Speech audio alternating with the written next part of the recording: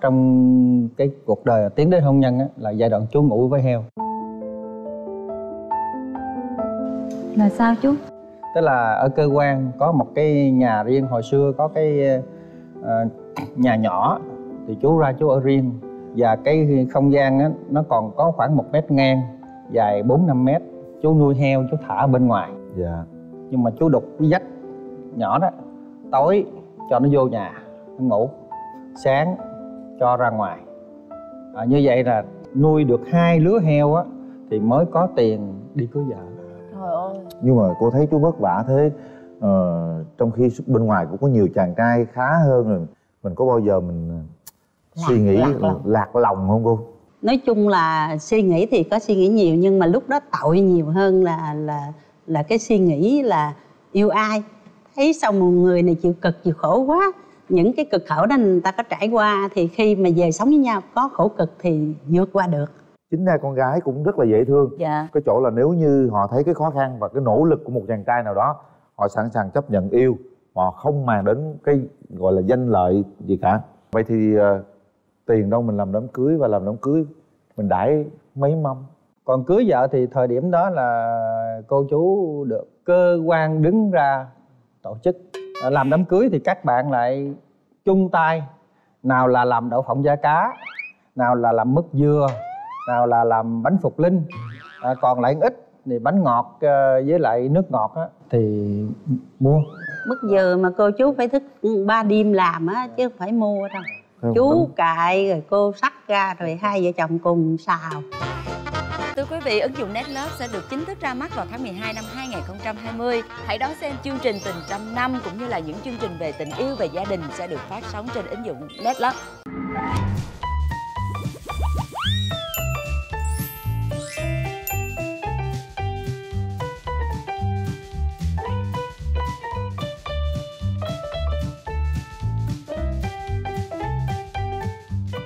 à, xin chào cô chú ạ à xin mời chú giới thiệu về mình. Tôi ờ, từ Xuân Sơn nay là 62 tuổi ở Bình Dương.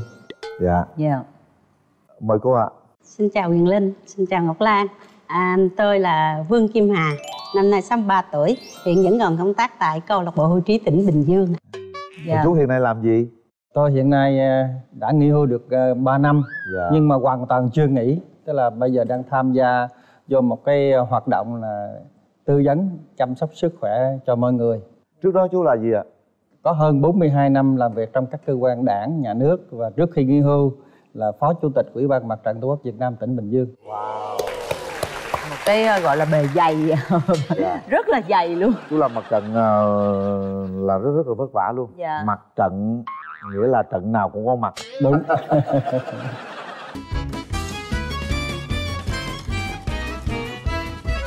Bây giờ ờ, chúng ta hãy quay ngược trở lại với lại thời vàng son thì cô chú gặp nhau ở trong cái hoàn cảnh nào ạ?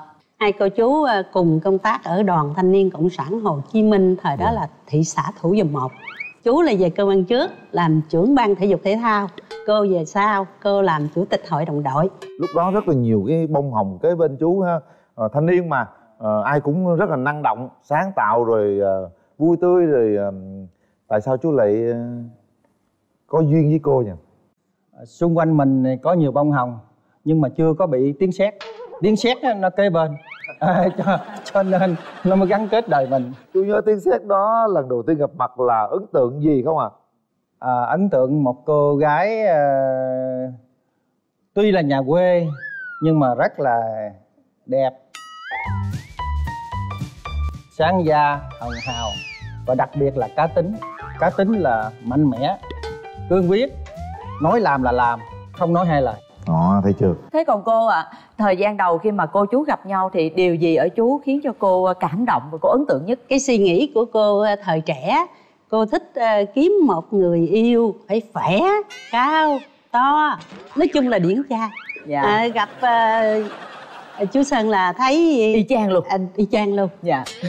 khỏe cao to hả? Cao to đẹp trai. cao rồi nha. Dân thể thao. Dạ dân thể thao nữa là đúng luôn ha. Chú nhớ cái ngày đầu tiên mà chú ờ, gọi là làm sao có thể ờ, để cô nhận cái cái tình cảm của mình á?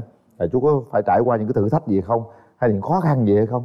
Xung quanh cô là có nhiều chàng trai thanh niên. Dạ. Ở nhà quê có ở cơ quan cũng có. Nhưng mà ông bà mình nói là đẹp trai không bằng trai mặt. À, mình có điều kiện gần gũi uh, giúp đỡ uh, hỗ trợ nhau. Đó là một cái câu chuyện vui. Dạ. Đó là cái chuyện tình trên chiếc xe đạp. Tức là lúc đó là cô đi học trường đoàn trung ương. Cái thời kỳ mà 80 81 á và từ thủ vô một hàng tuần chú đưa cô đi xuống trường đoàn trung ương ở sài gòn ở cần cầu công lý bằng chiếc xe đạp. Sáng thứ hai là đưa đi. Chiều thứ bảy rước về chặng đường mỗi lượt vậy là hơn ba chục cây số. Trời ơi. ba chục cây số chú chở cô đi. Rồi chở cô về là sáu chục cây số bằng xe đạp. Bằng xe đạp. Giờ chắc mình đạp không nổi đâu. Bởi vậy cô mới chọn một cái người cao to khỏe. À cái mối tình xe đạp đó chắc nó lãng mạn lắm chú hả? Cái xe đạp là xe đạp dàn cái dàn cái là sao không ngồi chú? không ngồi đằng sau. Ngồi trước. Xe đạp sườn ngang á hả chú? Ở dàn ngang á dàn Dạ. ngang á. Thì mình cầm cầm lái rồi bà ngồi đây. Cái đạp hoài nó không mệt. Trời ơi. Mà đường lúc đó chắc nó cũng đẹp gì lắm. Nó chắc nó cũng dằn lên dằn xuống đúng không cô? Mình dựa vô dựa vô ngực vậy nè. Vui vô vậy đó hả? Trời ơi tình cảm lãng mạn vậy cái sao? đầu đây nè cái hơi thở.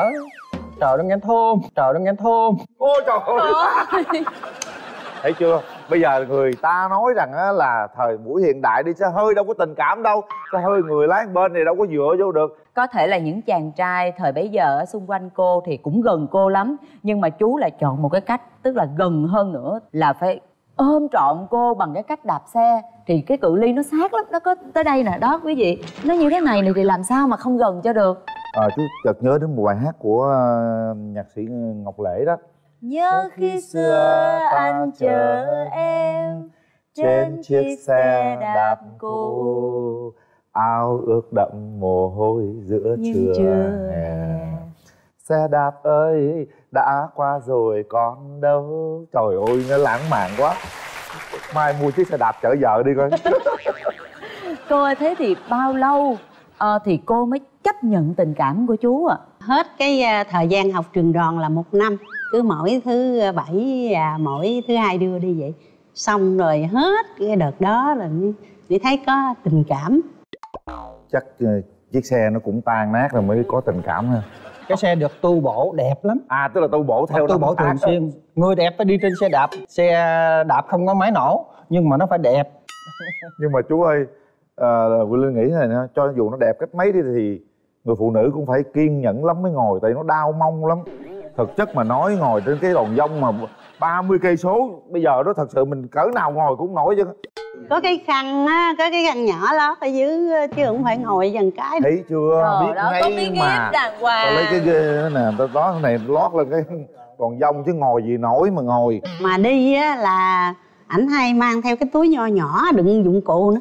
Giỏi lắm. Bởi vì mình biết cái lộ trình dài thế đi xe thế nào cũng có trục trặc. Cho nên là dụng cụ sửa xe giá xe có đủ cho nên từ đó đó mấy anh chàng ở trường đoàn ờ, học chung á mới hỏi ông nào mà thấy ờ, hàng tuần cứ xuống rước về đây? Lúc đó em trả lời sao em? Em nói à, cái ông này ông sửa xe đạp kế nhà. Trời đất ơi. Tàn nhẫn dễ sợ đâu có dám nói bộ nữa bởi trên xe có ông bơm có dụng cụ xe sửa xe đó. Y như là ông thợ sửa xe đạp cho nên nói vậy đây cũng không sai.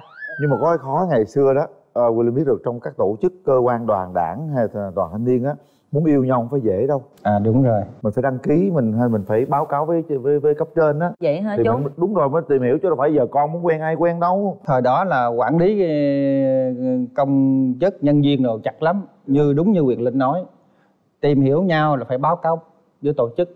Và khi nói chuyện là lên cái chỗ bàn làm việc hoặc là cái chỗ bàn ăn tập thể đó ngồi nói chuyện chứ không có mà đi cái chỗ ờ, riêng tư đi đưa rước cũng phải xin phép ừ, tổ chức. Cái quá trình báo cáo là 6 tháng. Và sau 6 tháng thì báo cáo kết quả tìm hiểu. À trời. Ơi à, coi quyết định ờ, tiến đến hôn nhân chưa hay là tiếp tục tìm hiểu? À, vậy tức mỗi người phải báo cáo cô chú hả phải báo mình cáo. viết ờ, giấy mình báo cáo là phải gặp rồi mấy lần rồi abcd gì đó à, hả? không chỉ báo cáo miệng thôi. Báo cáo công khai mọi hoạt động của ví mình dụ như giờ mình giả bộ mình nắm tay cái mình có báo cáo là mình đã nắm tay rồi không chú Không, cái đó là không báo cáo. Cái đó là báo cáo chứ lúc đó về ngồi trong sáng vậy rồi sao sao mà nắm tay được ha? nắm tay này kia được chú. Ngồi đối diện chứ không phải ngồi gần được ngồi gần vậy đâu. Đối diện luôn hả? Vậy rồi đến khi nào cô chú mới được nắm tay nhau một cách thoải mái? Khi báo cáo tổ chức xong á rồi đi học về rồi báo cáo với tổ chức là đã tìm hiểu ờ, ờ, rồi rồi chuẩn bị đi đến hôn nhân thì lúc đó mình nắm tay được. Trời trời ơi. trời. Gian nan quá. khó chứ trời. Để cho thấy được rằng là chính cái khó khăn đó cái nhẫn nại đó cái ờ, gọi là vất vả đó nó mới bền chặt. Vậy thì bao lâu từ lúc mình quen mình xin phép tổ chức cho đến nắm tay đầu tiên tới bao lâu thì cô chú mới kết hôn? Sau ờ, gần hơn một năm.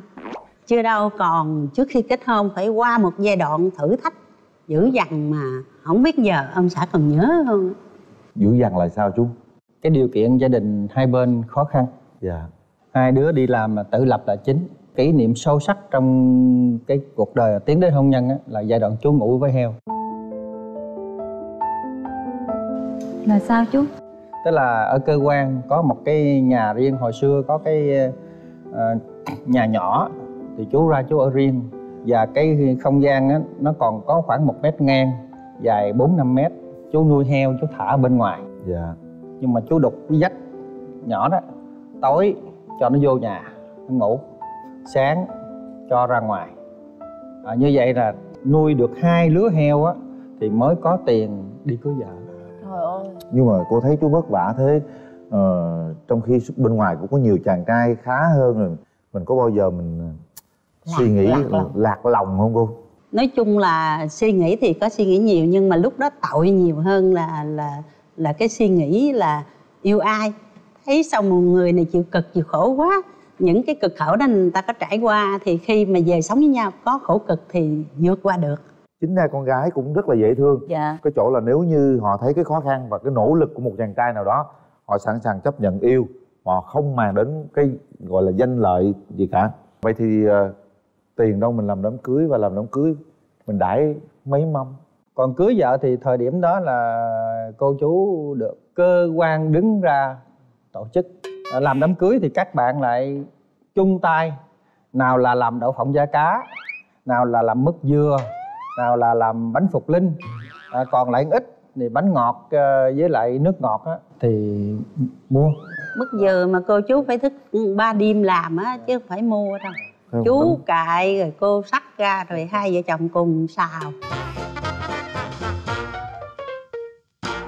cô chú ơi thế thì sau hôn nhân cuộc sống của mình nó có ờ, vất vả hay không? Đám cưới xong là hai năm sau cô mới mới mới sinh. Bị gái đầu làm Ừm, đứa gái đầu lòng rất là cực.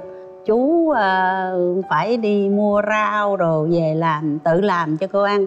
Rồi mẹ cô ở trên quê á, là cứ mỗi một tuần vậy á, là bắt con cá hủng hỉnh con tép con lòng tông rồi đó. Cứ kho một mẻ về đem xuống.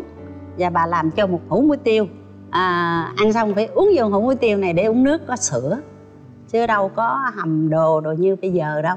Nói lại thêm một ý là sau khi kết hôn có bầu á à, thì ở ở ờ, cơ quan được giao trong cái nhà à, để làm gọi là nhà sinh hoạt thiếu nhi thì hai chồng vô quản lý cái nhà đó ở đó và sinh đứa con đầu lòng trong cái nhà này.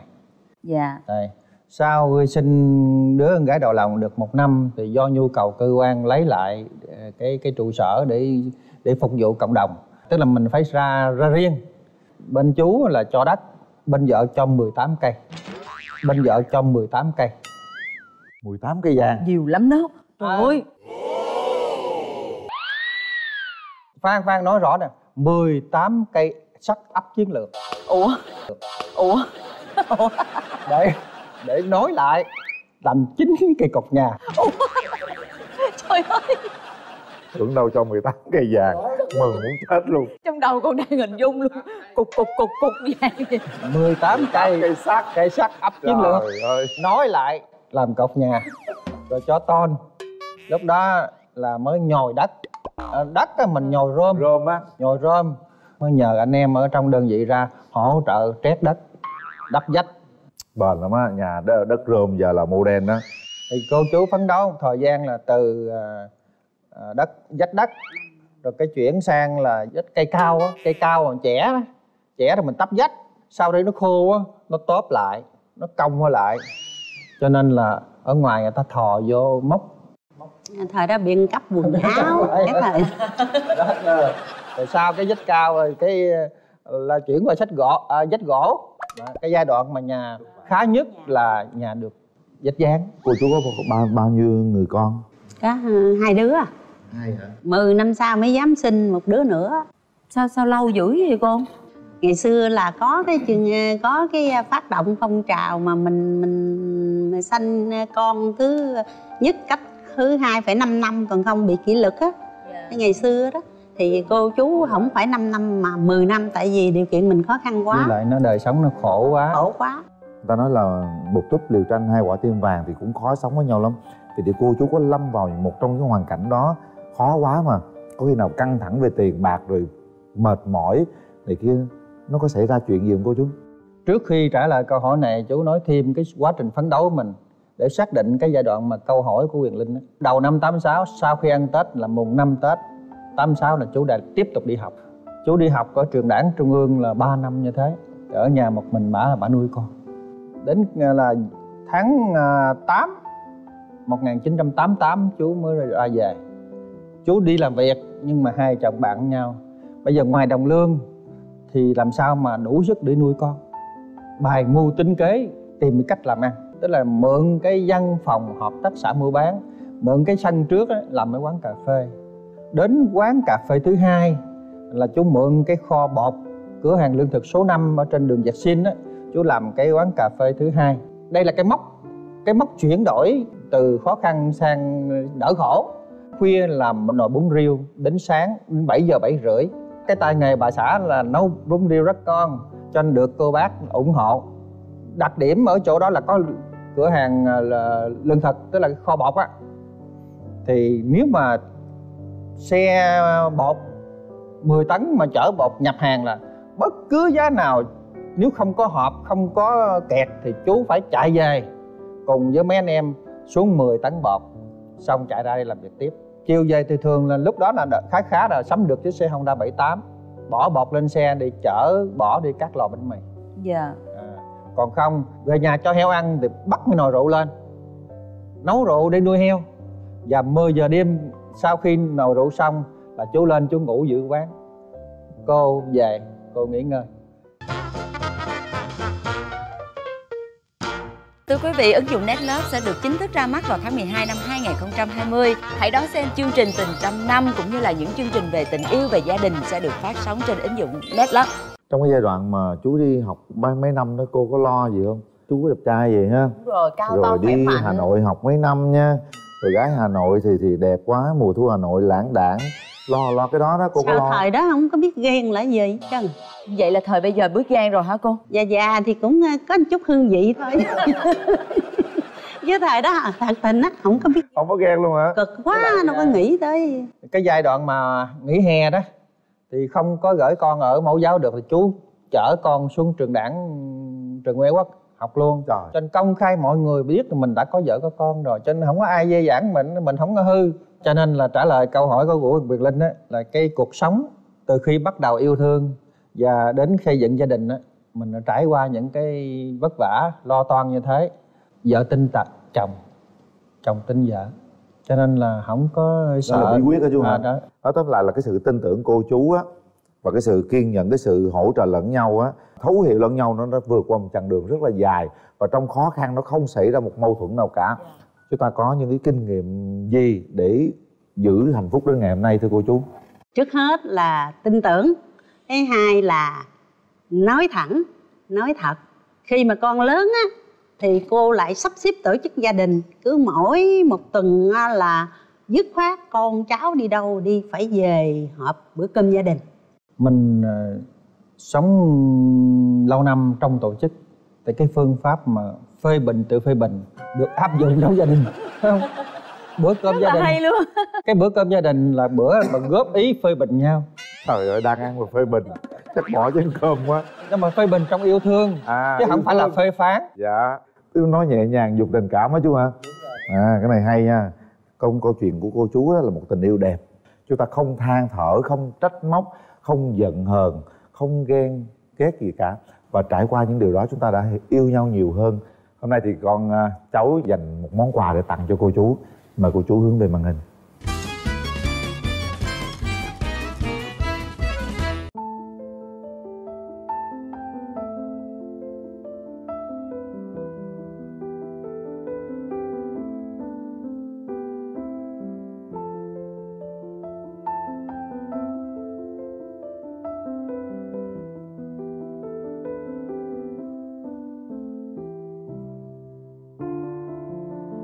Ba mẹ thì à, luôn dành những tình cảm tốt cho các con à, luôn yêu thương các con với lại lo cho các cháu rất là nhiều. Và nói là cảm ơn ba mẹ thì mong là ba mẹ luôn sống hạnh phúc sống đời với con cháu. Chị rất ngưỡng mộ mộ ba mẹ chị. Và có một lần á uh, mẹ thì lại ghen với lại ba cho nên là cũng giận dỗi giận hờn ba. Uh, nhưng mà ba thì tính lại nóng không có chịu đi theo giống như là uh, năn nỉ mẹ. Còn mẹ thì cũng muốn làm quề với ba mà không biết cách nào. Thế là lại kêu hai đứa con lại nói chuyện. Xong rồi kêu hai đứa con kêu ba lại nói chuyện. Sau đó thì nói ra những cái tình cảm đồ trong lòng với nhau. Ba nhớ là đừng có để cho mẹ ghen nữa. Còn mẹ thì à, có giận gì thì cứ chia sẻ với ba. Như vậy thì càng lúc tình già càng thấm đượm hơn con thì cũng có nhiều lỗi lắm với ba mẹ, nhưng mà cái nào giấu được thì cũng giấu hết. Tại vì thứ nhất cũng không muốn ba mẹ buồn, thứ hai là cái nào mà mình tự giải quyết được thì mình sẽ giải quyết. Mong là ba mẹ sẽ hiểu thông cảm cho những lỗi lầm của con.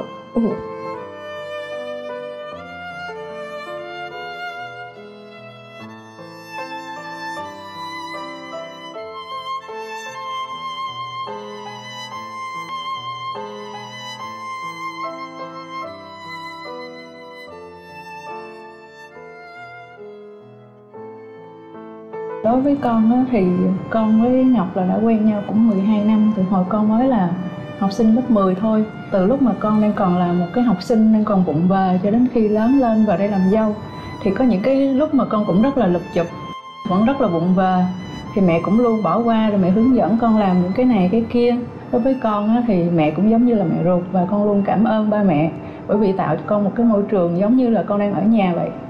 Ừ, thì nói chung là nhiều khi um, mình là con trai cái mình uh, khó có thể thể hiện cảm xúc của uh, mình với ba mẹ. Uh, rồi nhiều khi mình cũng về cái giống như cái tôi của mình cái mình uh, nhiều khi mình làm sai. Mà mình không có mở lời xin lỗi được. Nhưng mà ba mẹ vẫn luôn bỏ qua cho mình cảm nhận là tình cảm của ba mẹ dành cho con cái rất là to lớn và rất là vĩ đại.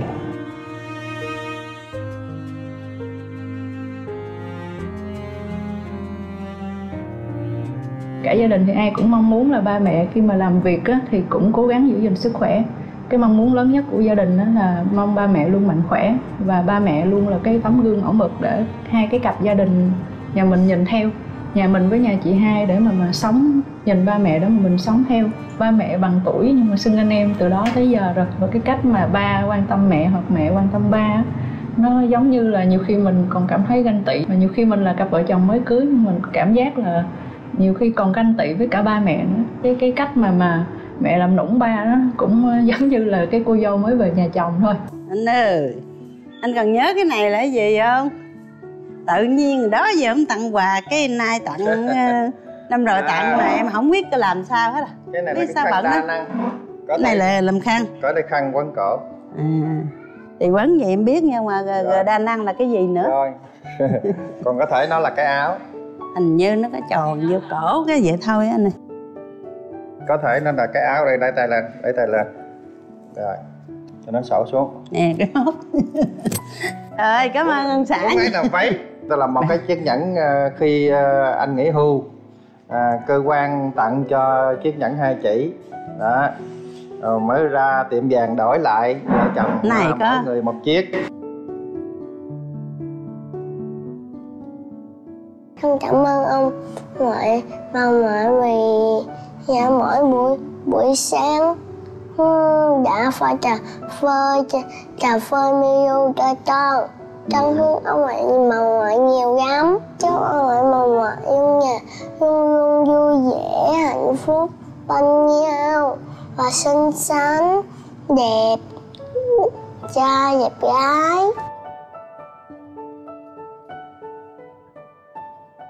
Xem xong thì uh, chú cảm xúc thế nào ạ? Trước hết là chú thấy có nước mắt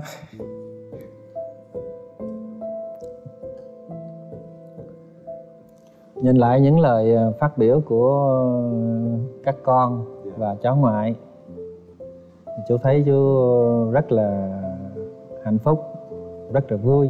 Trong tâm tâm cô thì cũng ờ, nghĩ rằng mình đã được vậy rồi thì sắp tới mình sẽ giữ và làm thế nào hai vợ chồng già này phải là tấm gương thật sáng hơn nữa để giúp cho con rồi cháu nữa noi theo. Và cái gì mà mình hạn chế mà con có ý kiến vậy thì mình cũng phải tâm đắc và mình tự rút kinh nghiệm. À, vợ chồng tối tâm tình với nhau để bây giờ cô còn một điều bất ngờ nữa mà chú dành cho cô. Con giữ ở trong tay đây nhưng mà nãy giờ con rất là muốn đem ra mà con phải giấu tới cuối cùng đây là một lá thư được gửi về quá khứ do chú uh, viết và chú gửi cho cô. Con sẽ đọc nha. Bình Dương ngày 13 tháng 11 năm 2020 Gửi người tình bé nhỏ của anh 40 năm trước Cô gái Vương Kim Hà.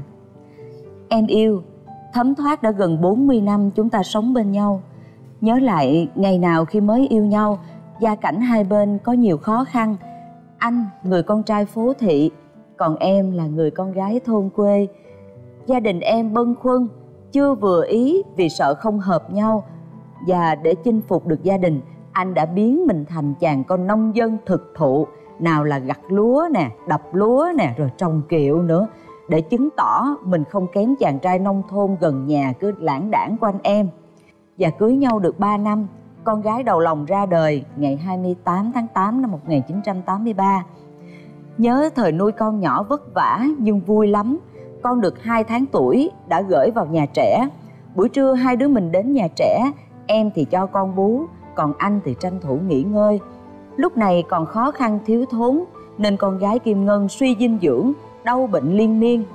Lúc con được 2 tuổi thì hai đứa mình lại đi học trường đảng ở tỉnh cái cảnh luân phiên nhau lên lớp luân phiên nhau trong con cả trường ai cũng biết hết và lúc đó mình lại trở thành một người nổi tiếng đầu năm 1986 thì anh lại lên đường học lý luận chính trị cao cấp tại trung tâm trường Nguyễn Ái Quốc 2 ở Thủ Đức.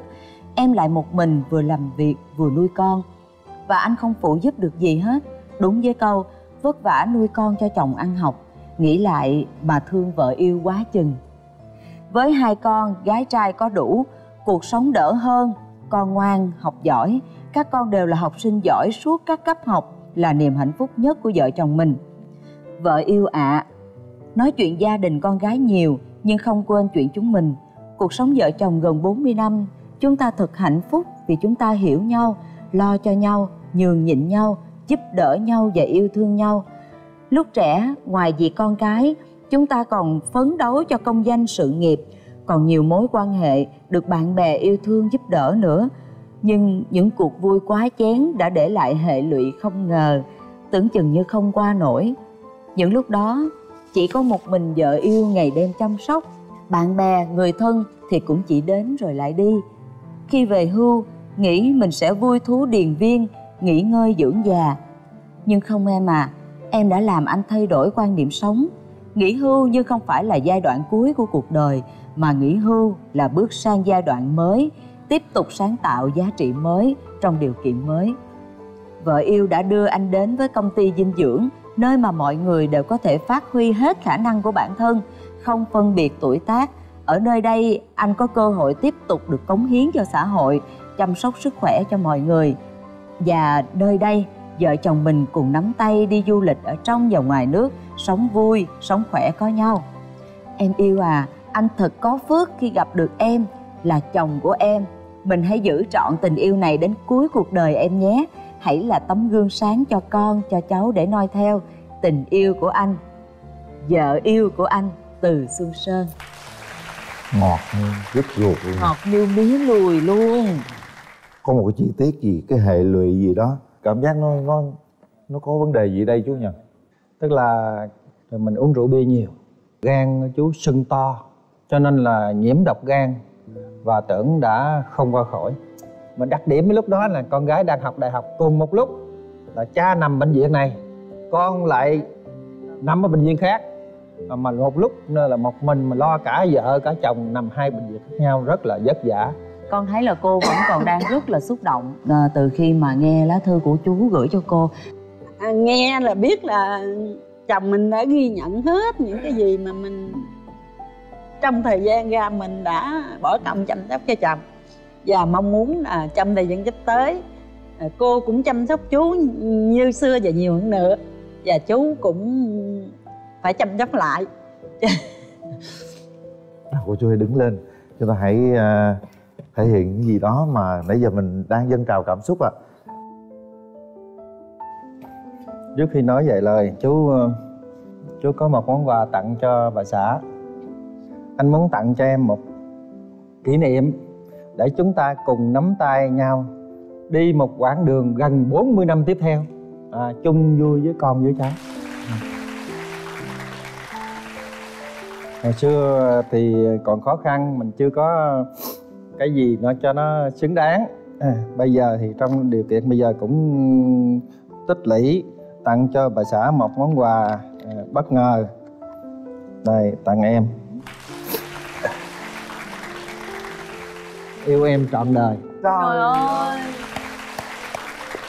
ơi. À, những cặp tình nhân ơi hãy nhìn lấy à, sau một chặng đường rất dài họ vẫn yêu nhau vẫn những lời âu yếm ngọt ngào với nhau như thế. Và cảm ơn cô chú một tình yêu rất đẹp. Chúc cô chú mãi mãi hạnh phúc. Chúc cô chú nhiều sức khỏe. Chúc gia đình hạnh phúc